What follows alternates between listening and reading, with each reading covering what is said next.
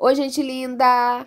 No vídeo de hoje eu vou ensinar vocês a fazer uma máscara do Homem de Ferro. Minha voz tá ruim, mas vai rolar o vídeo assim mesmo. Então, tem um molde aqui da máscara. Eu vou passar por EVA. Esse pedaço de EVA aqui tem 20 por 21. Cortei, ficou desse jeito aqui. Ela é bem fácil de fazer, gente. Aí a outra parte da máscara também tem o um molde. Passei para o EVA amarelo. E vai ficar assim, direitinho, direi... bem bonitinho. Agora vamos começar a fazer a colagem.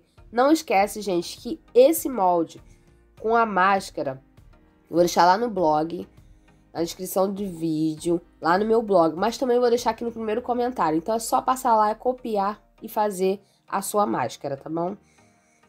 Aí eu vou usar a cola, essa Tech Bond, mas você pode usar cola quente, pode usar Super Bond, qualquer colinha que você tiver aí na sua casa, você pode utilizar, que vai dar super certo, tá bom? Colei ela todinha a máscara. Olha só como é que ficou bem legal. E vocês estão vendo, né, gente, que é bem fácil de fazer, ó. Agora, aqui na parte de trás da máscara, eu fiz duas, dois circulozinhos.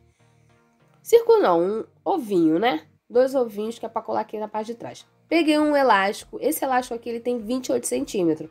Mas se você ver que a criança tem uma cabecinha um pouquinho maior ou menor, é só diminuir, tá bom? Passei cola quente, utilizei cola quente, a cola quente é melhor para fazer isso, tá, gente? Aqui você pode utilizar cola quente mesmo.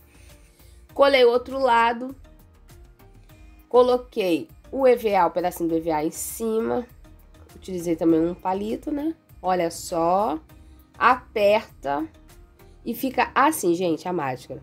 Vocês viram, gente? É muito fácil de fazer e bem rápido de fazer. E outra coisa, bem baratinho mesmo.